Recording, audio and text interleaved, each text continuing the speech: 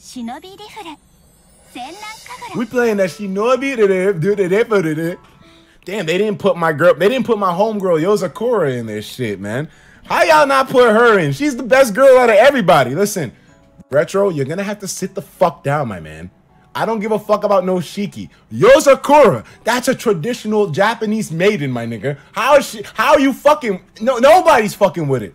Okay? You're gonna have to back up, Retro. this nigga's about to go off, bro. Why they put? She looks so drab. What the? What's the deal with this girl?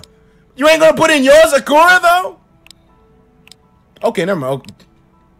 Wow. Okay, she, she, she's actually not that bad looking. Jesus. Let me see. What about this girl? Okay, so this is new. Just came out. She looks like a freak. what the hell is this? She looks like a fucking freak. what kind of what kind of look is this? Okay, let me see. What? Well, okay. She's got the um. Wow. Oh, and I guess it's just showing off extra costumes here.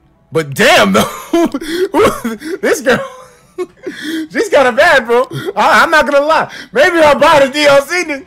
Maybe I'll buy the DLC